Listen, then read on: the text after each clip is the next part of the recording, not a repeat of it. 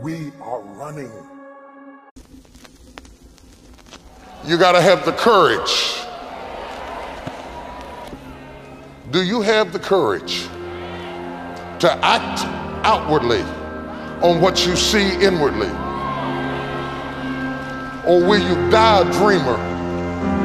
Will you die on the verge and on the edge and uh, in the land of coulda, woulda, and shoulda?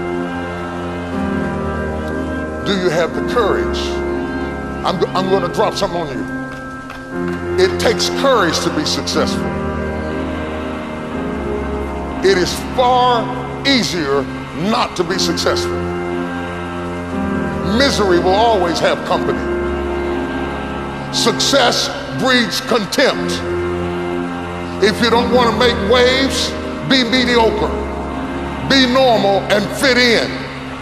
And if you're more concerned about people than you are God, then neutralize everything He put in you. Just fit in with everybody else.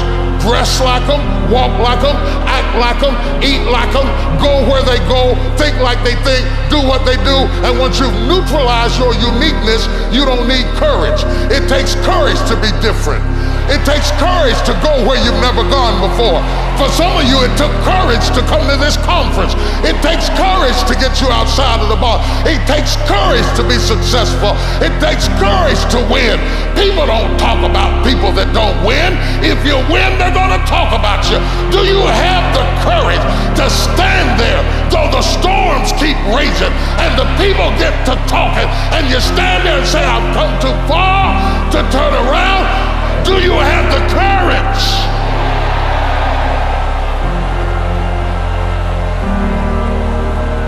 I'm to I'm to say something to you. It takes courage to be exceptional. It takes courage to be wise.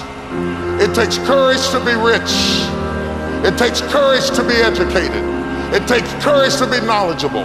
Because the moment you do, but you, you don't talk like, you, oh, you don't got, forgot where you came from. Look at you, talked it. It takes courage.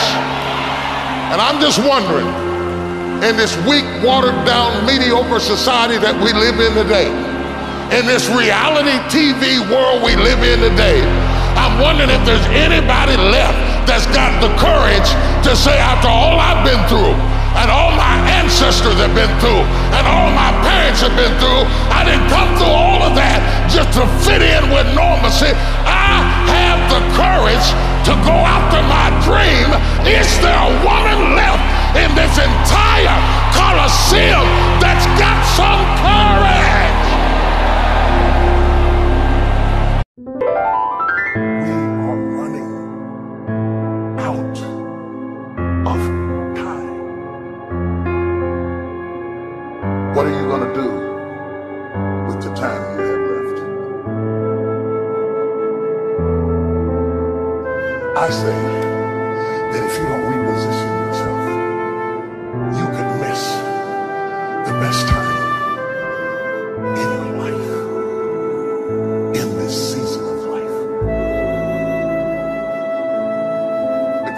got to change the way we think. We have got to change the way we function. We have got to change the way we deal with issues.